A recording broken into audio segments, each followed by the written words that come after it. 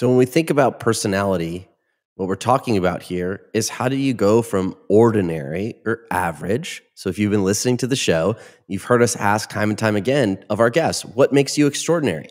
What is your X factor? How do you stand out? Your personality is one way that you stand out that makes you extraordinary.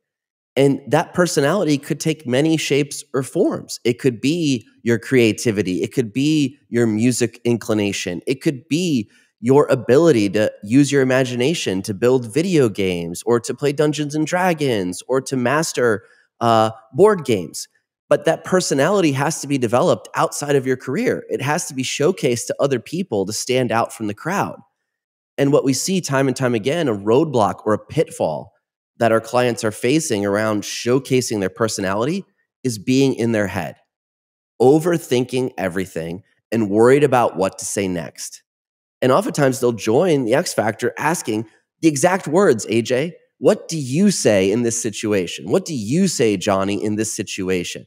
Well, your personality is different than my personality. My personality is different than Johnny's personality. And if I worried about what I should say to be more like Johnny or to be more like Michael, well, I'm overthinking and I'm not going to be present and I'm not going to be charismatic and in the moment that attracts people's attention, that wins people over and keeps them wanting more of my personality around them.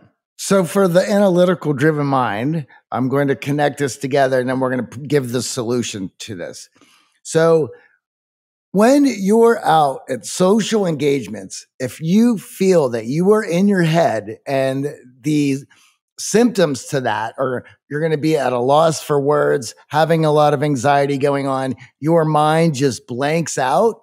This is due to not being socialized in an area where you are using your personality to connect and draw people in. Now, what's cool about this is now that we've identified the gap and the problem, it's okay, what is the solution to then being able to build out our personality? And what's so awesome about this is that we've been doing this for 17 years.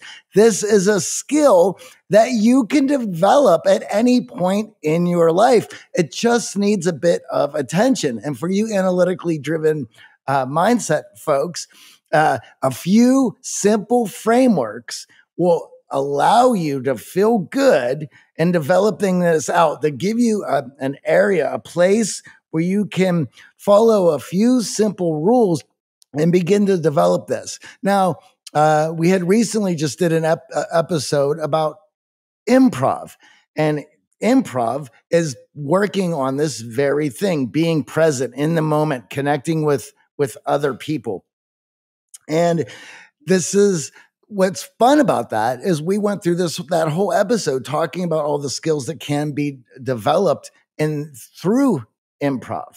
And there's so many of us who feel that these are skills that we're supposed to be have have developed earlier in life.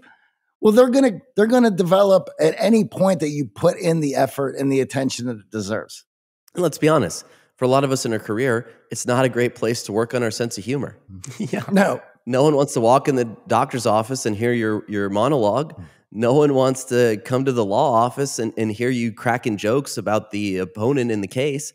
So oftentimes we've neglected our sense of humor and showcasing it because our career has demanded that we be serious and that we focus on the task at hand.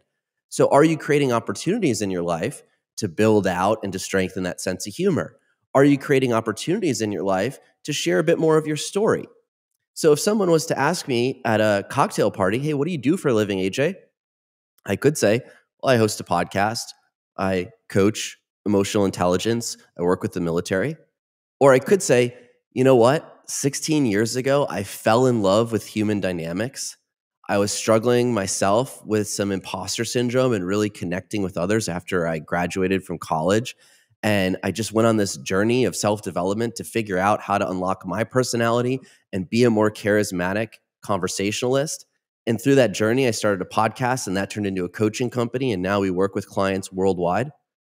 Which of those two answers at the cocktail party is going to stand out? It's going to draw a crowd over, is going to lead to that woman standing across the room taking interest? The podcast host or the storyteller? Who shares a journey of not only what he does, but how he fell into that line of work and what you love about your career. That's the difference in allowing your personality to pull people in, to attract people to you, to draw in women into your life, or just trading on facts and information and feeling boring and feeling stuck in your head in these environments where you should be meeting and connecting with people.